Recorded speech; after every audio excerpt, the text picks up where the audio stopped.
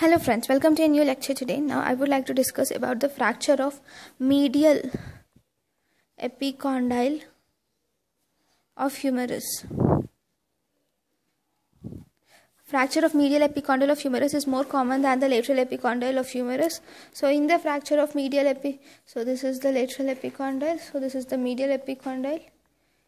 So there is a fracture in this medial epicondyle of humerus it is more common than the lateral epicondyle of humerus. Why? Because the epiphysis of medial epicondyle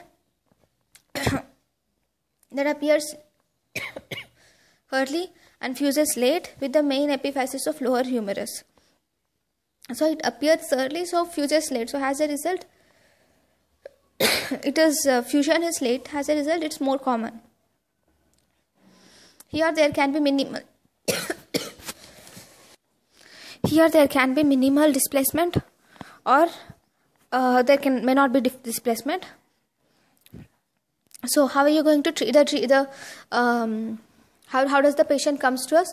The patient comes to us with a swelling and pain in the elbow joint on the medial aspect and uh, uh, on examination you feel presence of swelling and also tenderness over the uh, elbow joint on the medial aspect.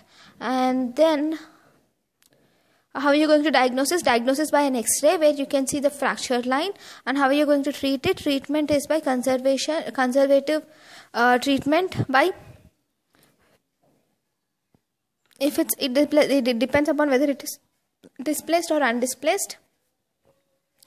If it is undisplaced, then you can just put an above elbow slab.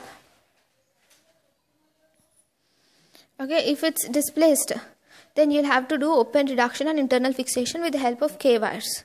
So this is how we treat medial epicondyle of humerus. So thank you guys for watching my lecture.